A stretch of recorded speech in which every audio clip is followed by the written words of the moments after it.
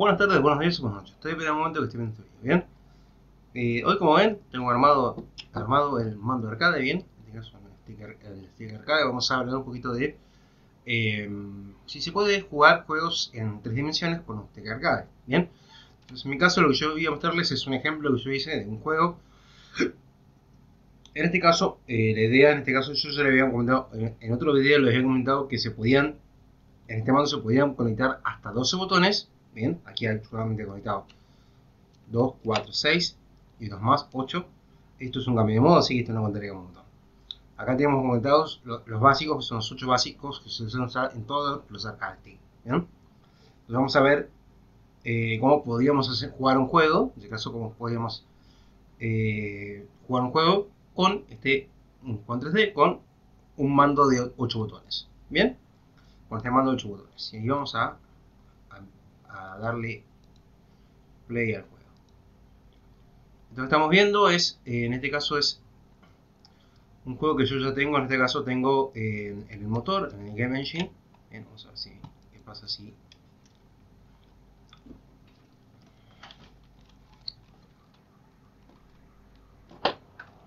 Por ahí vamos. Vamos a ver. El movimiento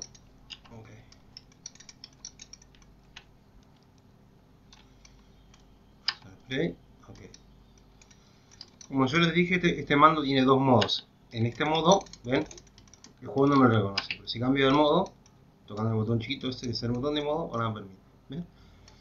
En este caso, el movimiento lo puedo hacer movimiento en 8 posiciones, como si fuera normalmente en un,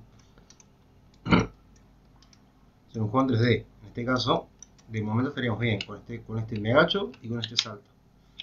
Pero claro, el detalle es que yo en este tipo de juegos es un juego que quisiera mover la cámara. Tengo la cámara para la derecha, hacia la izquierda, puedo rotarla y puedo ir hacia arriba o hacia abajo. vamos a ponerle una posición más o menos ahí, más o menos cómoda. Y vamos a venir acá.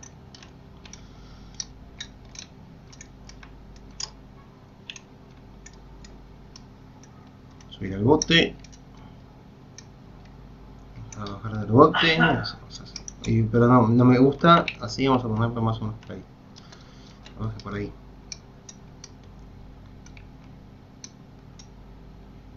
Vamos a mover más por acá. En el planeta, en el planeta yo quiero que la cámara quede así, por ejemplo. En el planeta yo quiero todo un poco más arriba. Y donde estaría el teletransporte de nuevo, tenemos que buscar el teletransporte para volver hacia abajo.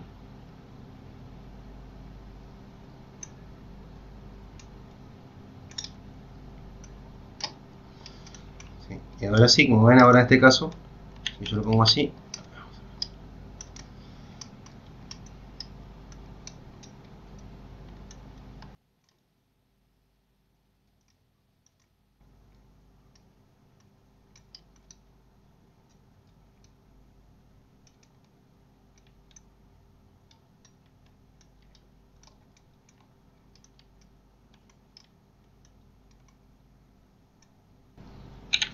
vamos a salir en este caso.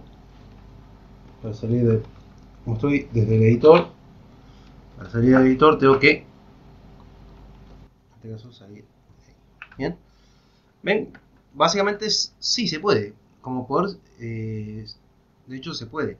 Jugar un juego con una en este caso una cámara dinámica bien. Claro el detalle es que yo digo un juego en tres dimensiones como por ejemplo mi juego que es el eh, vamos a ver, quiero mostrarles.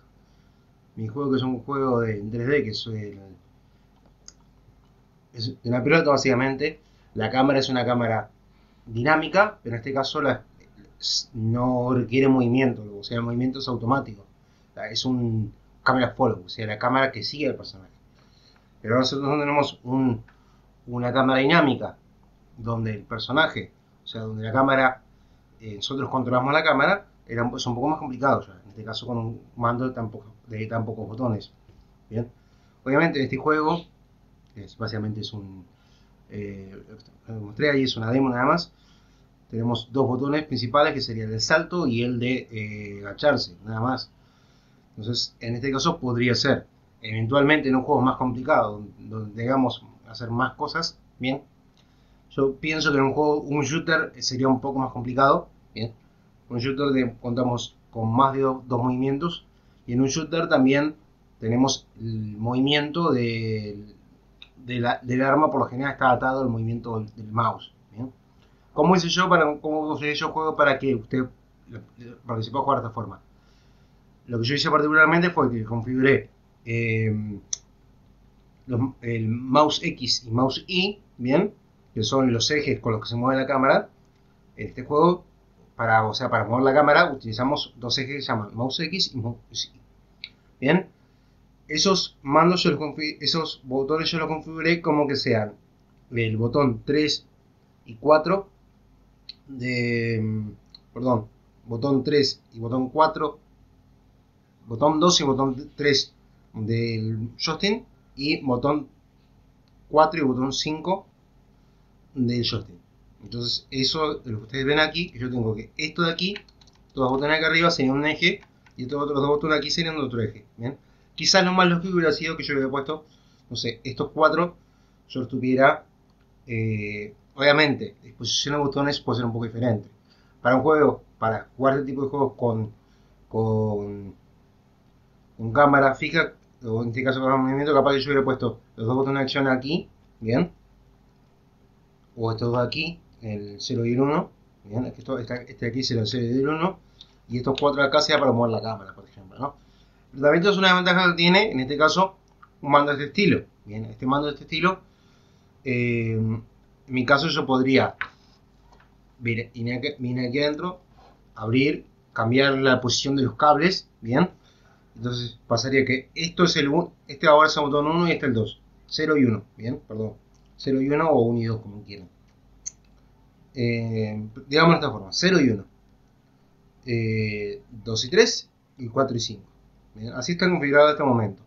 Pero yo simplemente si levantar la tapa, levanto la tapa eh, y pongo que este 0 y 1, esto sea 0 y 1, 1 eh, y 2, 0 y 1, 2 y 3, 4 y 5. Bien, de esta forma yo tendría en este caso el salto y el agacharse sería con estos dos botones aquí y movería la cámara con estos cuatro aquí, por ejemplo. ¿no? Y eventualmente también, si yo quisiera adaptar este, esto, como por ejemplo teníamos en el mando Nintendo 64, por ejemplo, tú tenías un botón que era C, que eran cuatro partes, y era un botón que estaba en, forma, en formato así hexagonal, en, formato, era un, era un cuadrado girado 45 grados, básicamente. Bien, que no recuerdo cómo se llama esa figura ahora en este momento, pero bueno, es, es un cuadrilátero que está girado, que no está, está girado. Eh, yo podría hacer lo mismo, podría poner aquí, en este lugar, poner, o sea, poner estos cuatro botones, tendría que ser un poquito más largo el mando seguramente, pero poner los cuatro botones principales acá, bien, y acá, en esta otra parte, poner otros, cuatro, otros cuatro botones, bien, girados hacia 45 grados, para usarlos como, como movimiento de la cámara, por ejemplo. O en el caso que yo le digo, como yo lo comentaba otra vez, era que también podríamos poner una segunda palanca, bien. Yo podría poner aquí en este lado una segunda palanca y esa segunda palanca sería eh, eh, para mover la cámara, bien.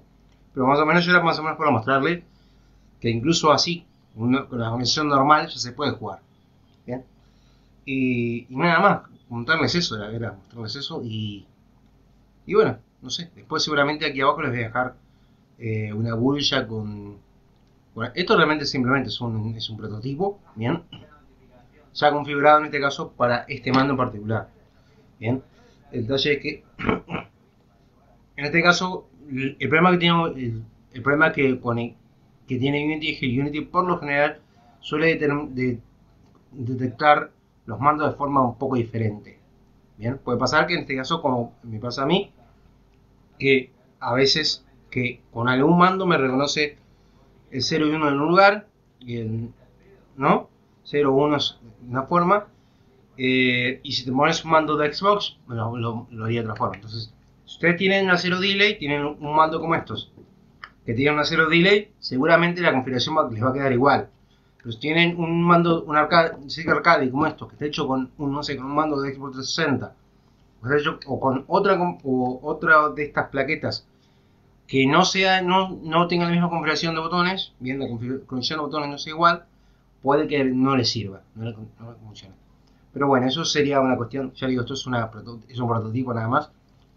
Eh, si yo quiero sacar este juego tendría que ponerle compatibilidad con varios tipos de mando y que detectara cuál mando es que estás utilizando. Bien.